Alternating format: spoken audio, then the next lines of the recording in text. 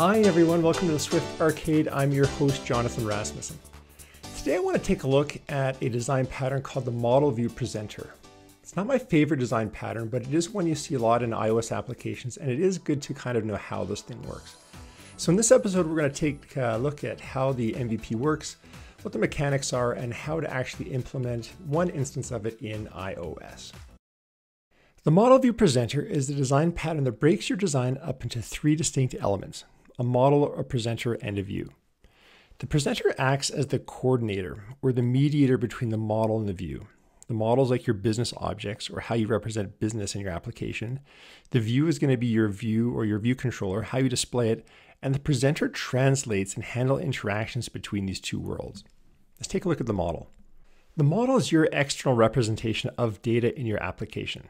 It knows nothing about UIKit, Cocoa, or anything to do with the UI. It's purely your business objects, and this would be typically what you would translate an HTTP JSON request into and how you'd represent business objects in your application. The view is how your data gets displayed. This is your views, your view controllers, all that good stuff we love in iOS. This is the actual implementation of how we would display that in our iOS app. The presenter then acts as the coordinator.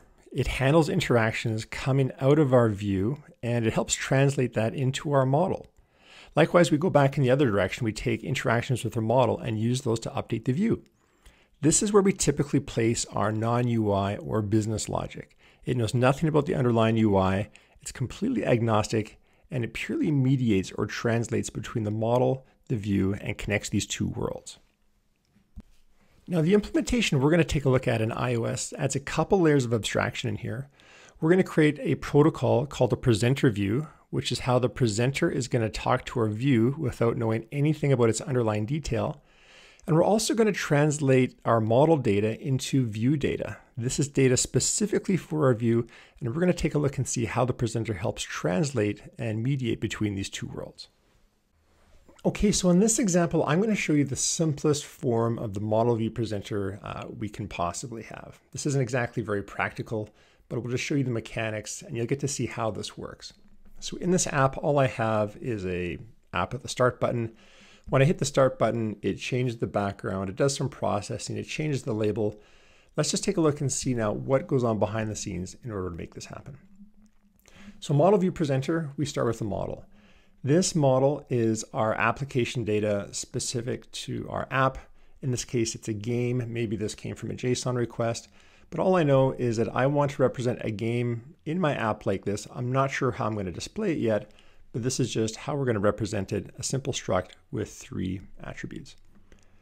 Then there's the view. In iOS, the view is view and view controllers. This is one of the things that is a little bit confusing about Model View Presenter. It does actually include these view controllers because in iOS, our views often are our view controllers. So here, one thing you're going to note is we have something called game view data. This is what the presenter is going to do for us. It's going to take our game, which came from the outside world, and translate that into a specific model for our view. In that case, I've called it game view data. Then here's our view. It's our view controller. We simply have a button and a label sitting at the center. And that's all there is to it. And the target action on the button is called Start Game. And here's where you'll see the presenter coming in. When we create our view, I've created something called a presenter here, which is going to pass this view as itself to the presenter. You'll see why in a second. And then note that when we hit this button, Start Game, we're not going to actually do the work in the view ourselves. We're going to delegate or pass that off to the presenter through a method called start game. And we're going to let it handle that interaction and decide what that actually means to start a game. So now here's the presenter. This is our mediator between the model and the view. And here you can see when we passed ourselves in as our view controller, we're actually implementing a protocol here we're representing that view controller as a presenter view. And this is the key thing with Model View Presenter. It doesn't know anything about UI view controllers or views. It's completely agnostic. So mechanically, the way we do that in iOS is we create a protocol called the presenter view, and we make our view controller implement that. So now our presenter can talk back to the view without knowing the underlying details, and it can ask it to do its work. So when start game is called or delegated from the view to the presenter and it gets that request, it can take that game, it can create a specific game view data and then talk back to the view and say, hey, can you update yourself? And here's the mechanics behind how all that happens. Here's our protocol called presenter view, which our view controller implements. That's what enables the presenter to call update game back to the view controller. Of course, it will take that specific view data and now do something interesting in the view. In this case, change the label and change the background to yellow.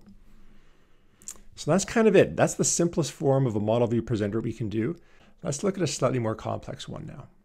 Okay, so this example is still pretty simple, but it's a little bit more complex than the previous one. Here we have a table, which is just going to display some users. And if we have users, we're going to display the table like that with some rows uh, representing the username and age.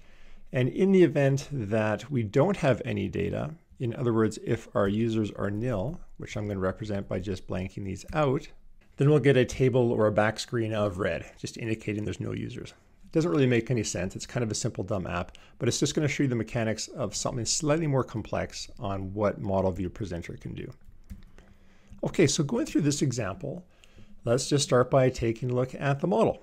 So here is our model. It's a user with uh, three attributes. This is how we're representing data in our app. This could have come from a JSON request. And in this case, we're mimicking that with this user service.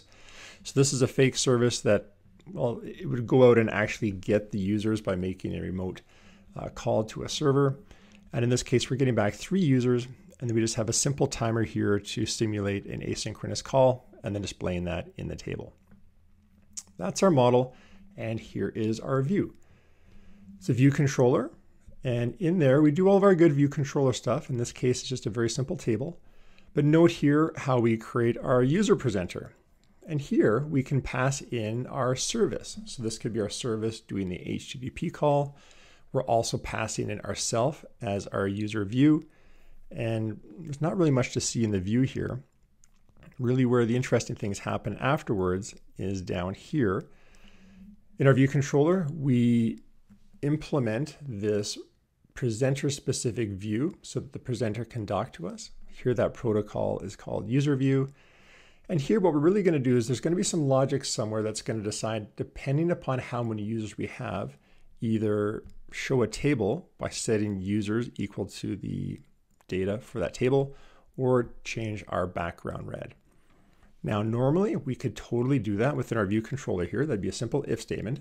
But because we're doing model view presenter, we're going to pull that logic out and we're going to do it here in something called our user presenter. So here you can see we have some data specific for this view. the presenter is going to help translate. Here is our protocol for user view. This is what our view controller is going to implement so our presenter can speak back to it.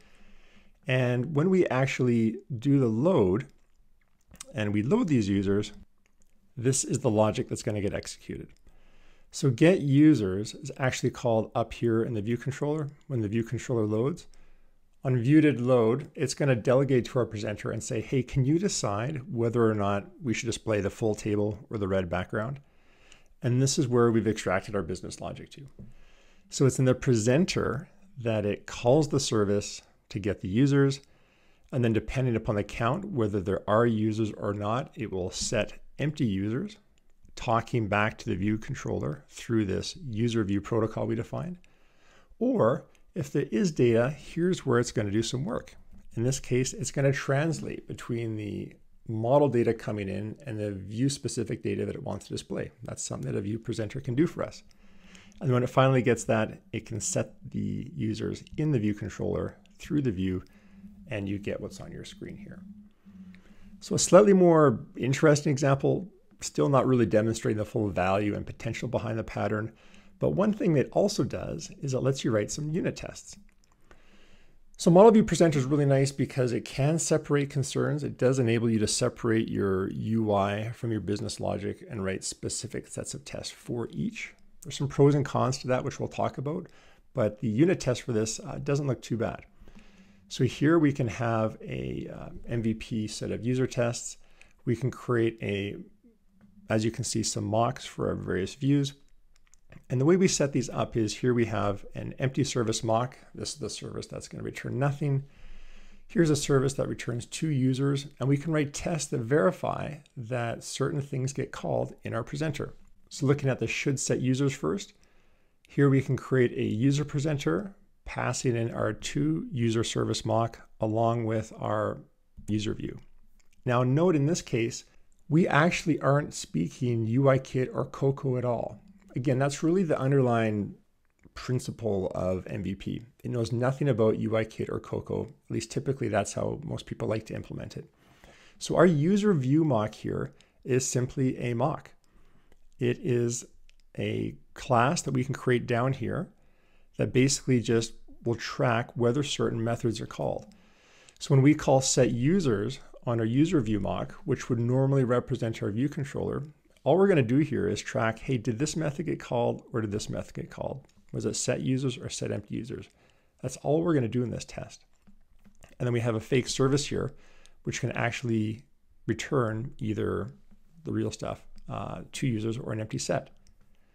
So in the case where we should set the users, we can set up our presenter to pass in our two service mock along with our user view mock, which is going to track which methods get called. We can then call get users and of course just see whether or not that Boolean was set when we call uh, set users down here.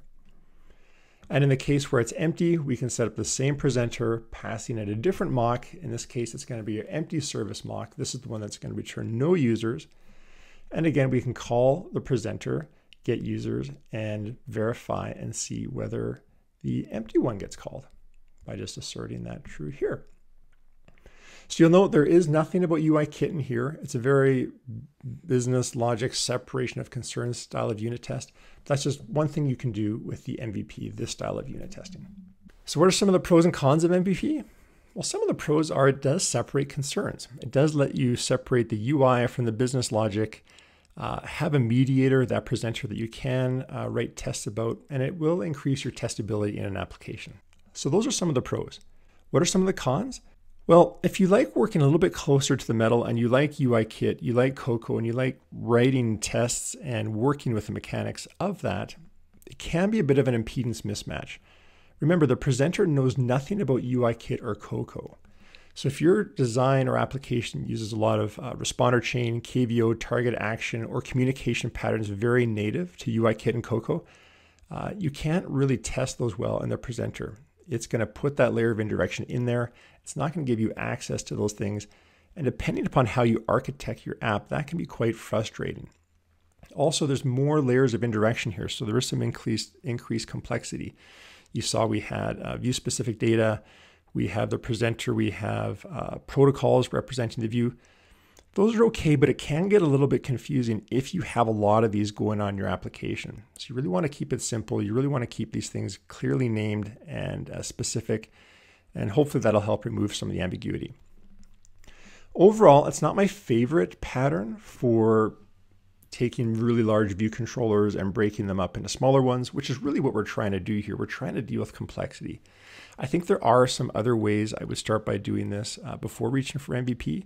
And we're going to look take a look at some of those in some upcoming episodes. We're going to take a look at how you can extract views, how you can make use of view models, and just use simple gang of four patterns like the mediator, which is all the presenter is, but um, still have access and still make use of some of those UIKit and Cocoa patterns in our tests and our design. So overall, not a bad pattern, just not necessarily my favorite. Okay, so there you have it, a simple introduction to MVP. Do come back. We are going to take a look at some other strategies for breaking up large view controllers. This is just the first in this series, and I wanted you to see this one first so we can compare and contrast that with some other ones we're going to take a look at in upcoming episodes. Okay, thanks for coming, everyone. We'll see you next time. Bye-bye.